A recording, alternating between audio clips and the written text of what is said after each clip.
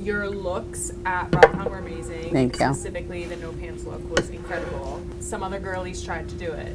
Just thinking, like, if you have thoughts on how other people interpreted that trend. I would say that when you're wearing like when you're not wearing pants or if you're wearing a mini skirt or if like even like these jeans are super super tight, it needs to have balance.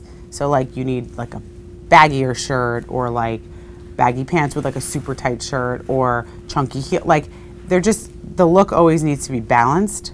I'd say and proportional. I think proportion, texture, like those things have a lot to do with the look. So you know, if you're not going to wear pants, maybe, and if it's like really tight, like maybe it's like a sloppier shirt. I don't know. I wore Abe's shirt.